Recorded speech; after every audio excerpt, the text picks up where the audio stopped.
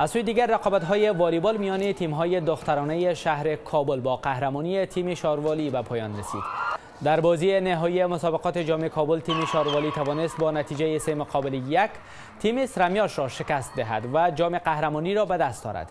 این رقابت ها چهار روز پیش به مقصد تشخیص ورزشکاران برتر والیبال میان هشت کلپ آزاد والیبال در شهر کابل آغاز گردید. فدراسیون والیبال افغانستان می‌گوید در پایان این بازی ها 18 ورزشکار برتر به تیم های ملی جوانان و نوجوانان والیبال دختران برگزیده شدند. دختران ورزشکار می‌گویند آنان نسبت به سالهای گذشته از امکانات نسبتا بهتری برخوردارند و چنین مسابقات برایشان مفید است.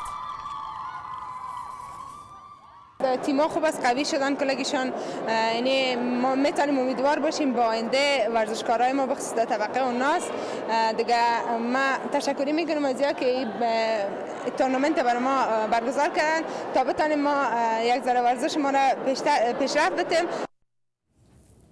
فدراسیون والیبال افغانستان می‌گوید در نظر دارد که در شماری از ولایات برای تشویق دختران به ورزش جمنازیوم های ورزشی را احداث کند.